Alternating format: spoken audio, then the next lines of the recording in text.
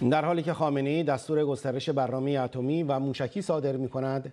رسانه های رژیم نوشتند آب اصفهان جیرهبندی می شود و برای کشاورزان محدودیت آبی مشخص می شود یک کارگزار رژیم در وزارت نیرو گفت در سال جاری سختترین شرایط آبی دهه های اخیر این منطقه را تجربه می کنیم و سختترین و نادرترین شرایط افت آبدهی به صد زاینده رود در سال جاری اتفاق افتاده است. طبعا جدای از محدودیت های بخش کشاورزی ناچار هستیم محدودیت هایی برای بخش شرب نیز اعمال کنیم. در همین حال وزارت نیروی رژیم اعلام کرد 66 صد بزرگ ایران کمتر از 40 درصد آب دارد و مخازن صدهای ایران کاهش 19 درصدی نسبت به سال گذشته داشته است.